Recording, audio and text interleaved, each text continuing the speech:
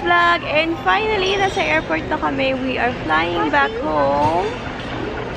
Here are the kids. And we're just waiting for our check-in dito sa Philippine Airlines. And nagre-ready lang. We're super early, so we're just gonna wait later on. And I'm gonna update you guys. Papakita ko kayo. Papakita ko kayo.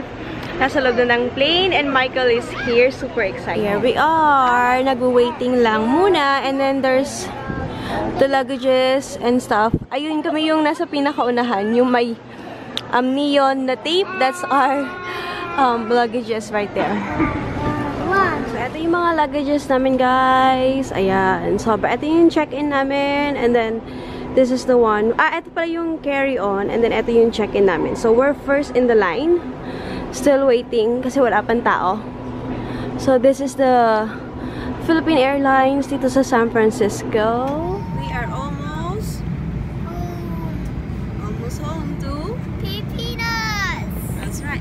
So we are almost boarding na. Ah, almost boarding na. We are almost here na 30 minutes na lang and then lalapag na yung plane. So we will... We finally made it. We passed the boarding and the checking and then we made so much mess and Michael is sleeping already but we survived it. I'm super sweaty right now. So it is 8.47 and we're just taking a step lang muna just to get dressed muna and then we'll go to the check-in counter. Okay? And I'll see you guys later. Okay na lang kami ng luggages, girls. Michael. Yung luggage namin.